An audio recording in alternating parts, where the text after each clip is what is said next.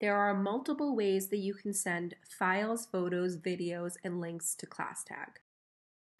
You can create a shared story and attach it under File, Photo, and Video. When you create an announcement, you can also attach files, photos, and videos and links. If you attach a link, it will play the video right in ClassTag. You can also use your private message feature to message parents and families and send them files and photos. All you would do is click the, the pin at the bottom that looks like a paperclip, find what you want to upload, and upload it directly. You can add a message and press send.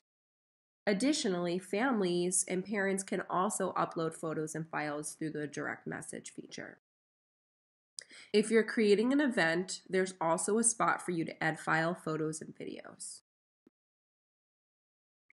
If you're ClassTag leadership or someone who oversees your school, you can also attach files, videos, and photos from the school-wide announcement feature over here create your message, you can attach a file, photo, or video, and select the grades, the classrooms, or all classrooms and grades to send it to. Once you've uploaded files, videos, photos, and links, photos will come up viewable for parents to see when they scroll.